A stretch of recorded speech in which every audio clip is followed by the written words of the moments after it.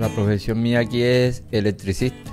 Lo tengo ahora mismo actualizado que trabajo aquí en Santa Lucía, electricidad.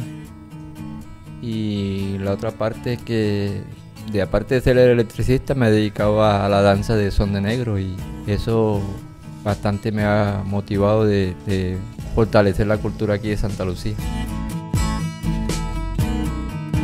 Los viejos de antes, cuando iban a cortar el monte, el sombrero que se ponían a veces por la temperatura, que era muy alta, no la soportaban, entonces le metían hojas de naranjito, cualquier hoja verde para que no les calentara el.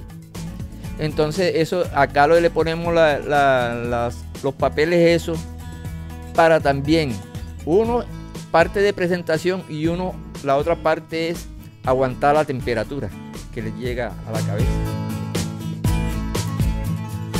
El son de negro es una danza tradicional que se ha caracterizado eh, aquí en Santa Lucía como uno de los más grandes de la, cultura de aquí de Santa Lucía. Y nosotros acá, con lo que es la cultura, nos hemos hecho grandes porque la cultura aquí, la, la única que representa aquí en Santa Lucía es, es el son de negro.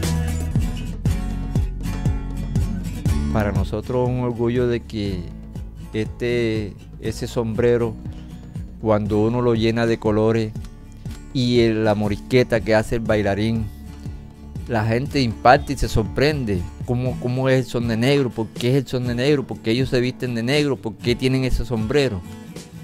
Es donde uno le da el margen al color de lo que es un baile de son de negro que es que utilizamos nosotros por acá. Esa es parte de la identidad del son de negro.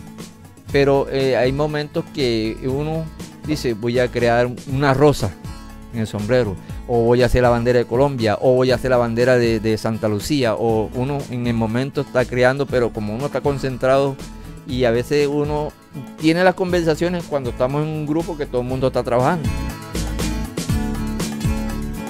Uno tiene que duplicar, enseñar para que quede algo también de recuerdo de lo que es uno cuando estaba haciendo, cuando está haciendo cultura. Mi nombre es José Manuel Vázquez Viloria. Me gusta Telecaribe porque Telecaribe está metido en el cuento de la cultura.